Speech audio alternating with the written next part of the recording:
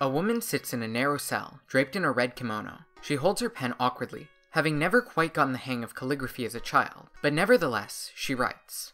After all, Fumiko knows her death is coming. She has just confessed to a plot to kill Crown Prince Hirohito, the soon to be Emperor of Japan.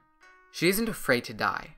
Her confession was swift, enthusiastic, and as she would later admit, she had in fact exaggerated her own role in the plot to ensure this fate for herself. But now, asked to explain her actions, she takes the time she has to write down the whole story, every experience that shaped her into the kind of woman who would think to commit such an act of treason. And she has every intention of using this opportunity to the fullest to call attention to the injustices of Japan's authoritarian society at all levels, from the state to the economy to the family. Before this point, she has always been forced to moderate her own writing to avoid the imperial censors, but now, safe in the knowledge that nothing she wrote could be used against her, she freely writes what she believes, and the scandalous details of the life story which shaped her. Kaneko Fumiko was born in the Japanese city of Yokohama. The official record of her birth, written years after the fact, claims she was born on January 25, 1902, but her parents instead gave a date of July 23, 1903. This discrepancy is something Fumiko would later note as a small example of the fallibility of the state.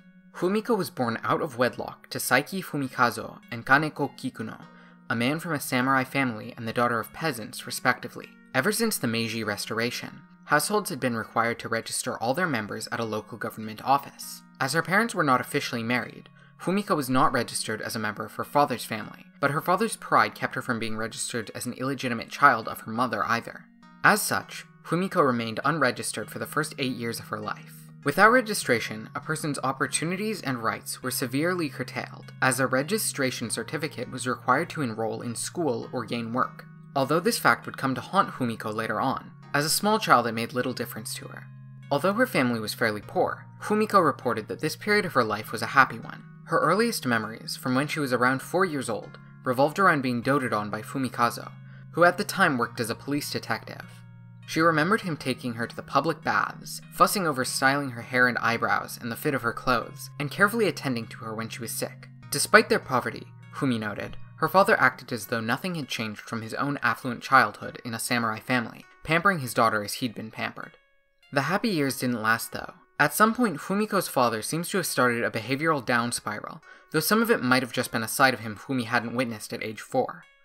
He started drinking, openly engaging in affairs, and physically abusing Kikuno. Somewhere along the line, he had lost his job with the police, and while Fumiko was never sure what he was doing instead, he spent less and less time in the house, sometimes coming back in the middle of the night drunk. On one occasion, Fumiko recalled being dragged along by her mother to retrieve him from a brothel, and on another occasion from a card game, after which he brutally beat Kikuno on the street for embarrassing him, requiring Fumi to run for help to stop him before he killed her. He would eventually begin an affair with Kikuno's sister and run off to marry her, abandoning Fumi, Kikuno, and Fumi's baby brother Ken.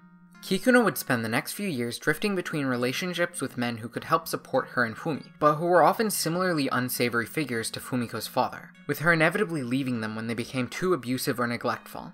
Fumiko went through quite a bit of abuse at the hands of Kikuno's first new boyfriend, including being deprived of food, rolled up in a quilt and locked in a closet, and at one point being left tied up in a bundle hanging from a tree, though it was only when he stole Fumiko's school funds to go out drinking that her mother finally left him. During this period, the family was in dire poverty.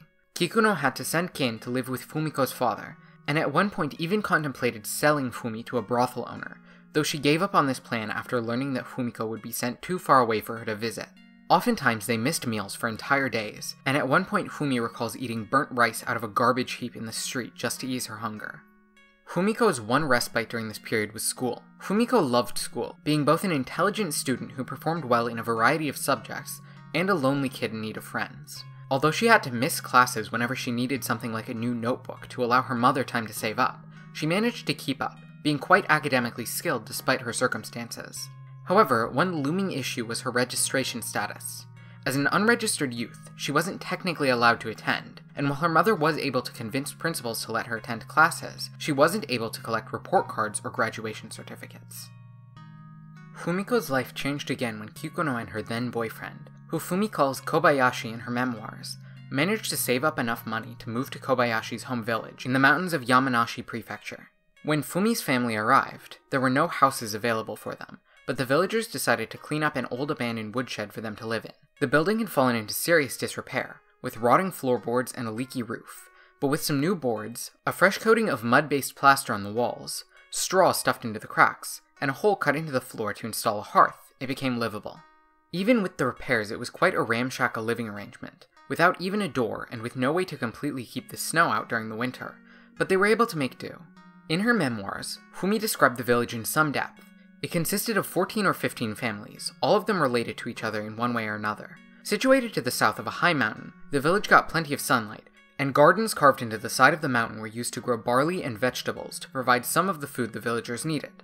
Although the local diet was fairly simple, consisting mostly of coarse rice mixed with barley, unseasoned vegetables, and occasionally heavily salted fish, the villagers were kept healthy by supplementing their diets with fruits and nuts gathered from the mountainside. Fumiko credited life in the village with giving her an abiding love of nature, from foraging in the mountains and passing through the woods each day on the path to school. She described village life as an ideal way of living, healthy and close to nature. And yet, she also saw deep issues within the village.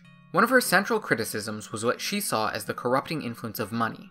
Although they were able to grow and forage some of their food, the villagers were not fully self sufficient, being unable to produce their own clothes and growing no rice of their own. In order to fill their needs, therefore, the village needed to buy goods from traders in what Fumiko identified as an unequal exchange. Its primary industry during the spring and summer was silkworm cultivation, for which mulberry bushes were grown in the gardens. In winter, the men of the village would go into the mountains to manufacture charcoal, the largest source of income for the village. Traders would visit from cities, buying charcoal and silkworm cocoons, before turning around to sell clothes, rice, and other goods. While Fumi argued that a village which produced so much silk should be able to clothe all of its residents in fine clothing, instead, the silkworm cocoons were sold to buy striped cotton country clothes, worth far less than the silk cloth that would ultimately be made from the cocoons. Fumiko further described how the traveling salesmen were masters of advertisement and bargaining, skillfully convincing village women that they had to buy expensive items. As such, Fumi described how the wealth was perpetually drained from the countryside, as the meager money earned through selling raw materials was quickly spent on manufactured goods brought in from the cities. In this, she described a relationship between the cities and countryside noticeably similar to the one between imperial powers and their colonies. Fumi also identified issues with the internal economics of the village. While money was rarely used within the village, monetary value was still recognized, with transactions being filled with barter. In order to buy anything they needed for school, children had to carry heavy bags loaded with charcoal to the store. Additionally, Fumi saw a certain level of corruption within the village. While her teacher had warmly welcomed her into school and promised her a certificate despite her unregistered status, claiming that things were done differently in the countryside, she was left humiliated when the certificate was publicly refused to her because her mother hadn't presented a gift of sake to the teacher.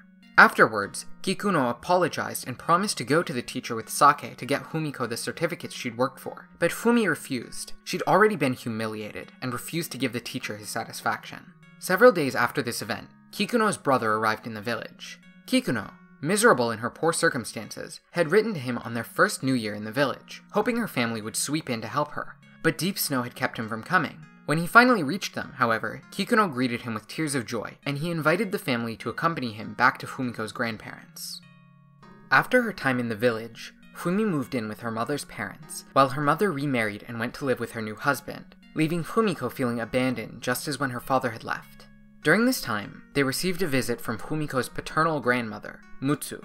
Mutsu lived in the Japanese colony of Korea with Fumiko's aunt. Her wealth showed in both her fine clothes and on her face, which Fumi described as healthier looking than her other grandmothers, despite both women being of similar age. Mutsu explained that her second youngest daughter had struggled to have children, and that when Fumiko was three or four, she'd made an agreement with Fumikazo that if she weren't able to have any kids of her own, she would adopt Fumiko instead.